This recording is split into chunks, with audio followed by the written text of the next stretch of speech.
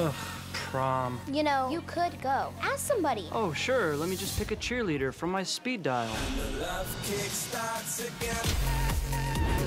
Do you have a minute? Not prom. You want to. Carpool.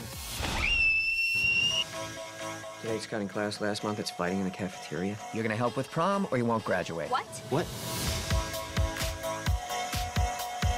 Problem? I was just taking inventory of this bucket. That would be one. Dude, I'm sealing the deal. But first, flight check. Now breathe on me. What are you guys doing?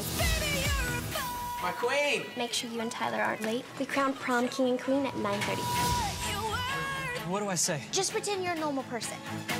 What kind of sick twist would put serial killer letters on a person's locker? What did Oh. I do wrong?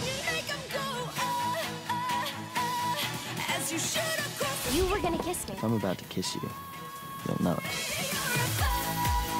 you were. Come on, let your colors burst. Make 'em go. No, no, no, no! Jen, you missed it! There was a sign!